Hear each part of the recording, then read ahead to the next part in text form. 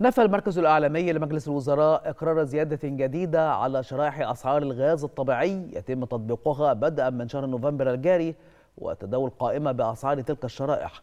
وأكد المركز أن القائمة المتداولة خاصة بالأسعار التي تم اعتمادها ضمن الحزمة الأخيرة في شهر سبتمبر 2024 في ظل السعي لتضييق الفجوة القائمة بين الأسعار وتكاليف الإنتاج. وشدد المركز على أن الأسعار الحالية للغاز الطبيعي سواء المخصص للمنازل أو للأنشطة التجارية هي المعمول بها منذ شهر سبتمبر الماضي دون تطبيق أي زيادة جديدة عليها في الوقت الحالي.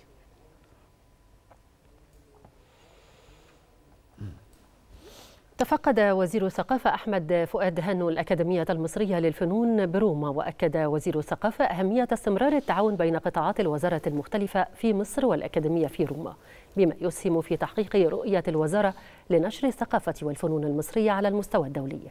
وكذلك تعزيز التبادل الثقافي بين مصر وإيطاليا ودول أوروبا.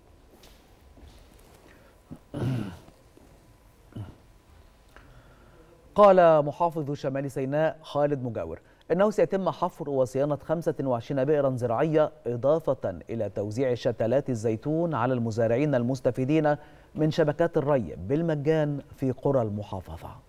إحنا عندنا في ثلاث مراحل المرحلة الأولى 30 فدان المرحلة الثانية 90 فدان ال 60 فدان المرحلة الثالثة 90 فدان. كل مواطن بيتم تقديم شبكات الري ليه ومصدر المياه موجود عنده. وبيتم تزويده بالشتلات المطلوبة وما يخص المواطن في المنظر اللي إحنا شايفينه ورانا ده اتنين فدان.